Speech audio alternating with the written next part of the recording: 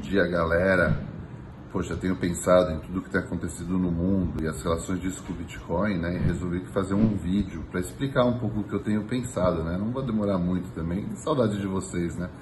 Live é mais conversa com outras pessoas, tal. Então, por isso eu peço, ó, se inscrevam. Tem muita gente que assiste e não se inscreve. Eu queria que você compartilhasse com os amigos. Eu quero que o canal cresça. Se vocês, me ajudarem curtindo se inscreverem, eu vou aumentar os vídeos, vou trazer cada vez mais gente. Eu não ganho nada, nem monetizo, não faço nada com o canal. É passar informação. Então eu peço de vocês essa outra parte, tá? Inscrição e, e, e like. Sobre o Bitcoin, o que tem acontecido?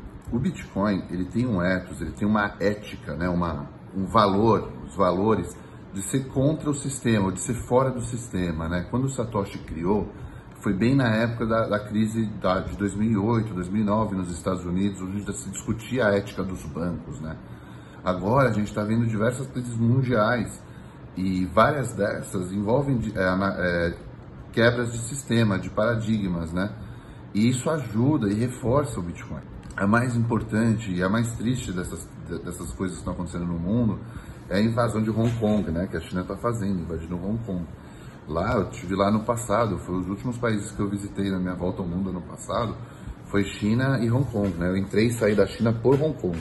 Hong Kong é totalmente diferente da China. Lá se fala inglês, lá tem uma liberdade de expressão grande, você não precisa usar VPN para entrar na internet e protestos. Então sempre foi um lugar, assim, foi o lugar que os Estados Unidos tentaram, a Inglaterra, os Estados Unidos tentaram deixar como exemplo de liberdade para a Ásia.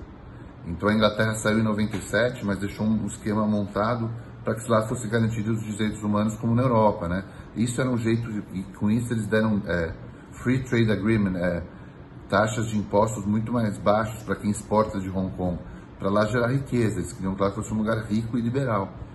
E dado esse vírus, dado principalmente o crescimento da China e o vírus, a China hoje já não está mais ligando para Hong Kong.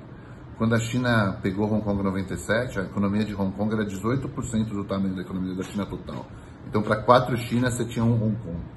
Hoje em dia, só a, a economia de Hong Kong só representa 3% da China.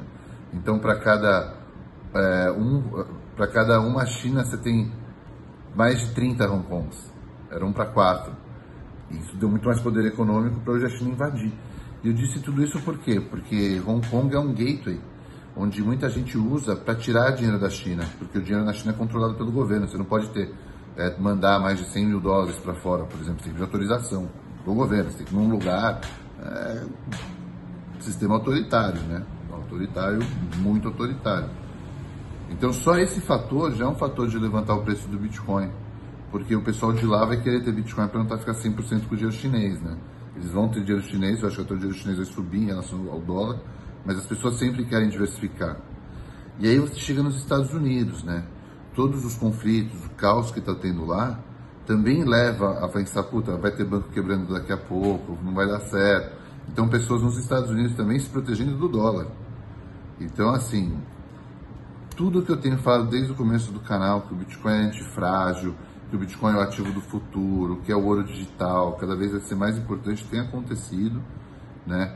a minha análise de preço ela foi certa até um período, quando entrou a disputa do petróleo, a Arábia Saudita e a Rússia fritou o mercado, então provou mais uma vez a questão da volatilidade, mesmo pessoas que estão há anos no mercado, que entendem do mercado, tem horas que o preço vai para lugares que não imagináveis, por conflitos externos e também pela própria natureza ainda jovem do Bitcoin, é um ativo que está formando preço, né? uma busca de preço.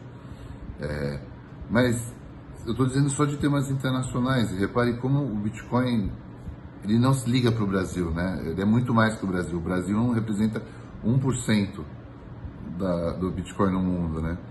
E, e, mesmo assim aqui também a gente viu como subiu. Foi o ativo que mais subiu em maio. Desde o começo do ano é o ativo que mais subiu no Brasil. Porque estava em 7 mil dólares, agora está em 10 mil dólares. Só que o dólar no começo do ano, eu nem lembro o número exato, mas estava 4 e agora tá, chegou a bater 6. Então, poxa, muita gente comprou Bitcoin a 28 mil reais, teve a oportunidade de vender a 55 mil reais agora, quase 100% no ano em real.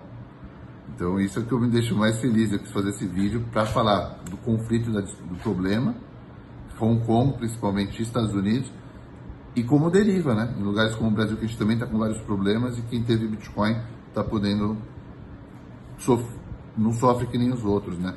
é um ativo de muita proteção. Então eu aconselho você que esses foram um dos primeiros vídeos, pega nos primeiros vídeos, tem uma playlist de vídeos mais importantes, onde discuto os conceitos. Eu acho que o Bitcoin, para quem realmente estudar e entender, vai mudar muitas vidas. Valeu, galera! Abração!